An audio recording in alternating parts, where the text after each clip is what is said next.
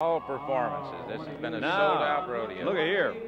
Here's our cowboy clowns, Rick Young, Skipper Voss, and John Taylor, and they're going to have a little fun with one of Butler and Sons uh, fighting bulls out of Elk City, Oklahoma.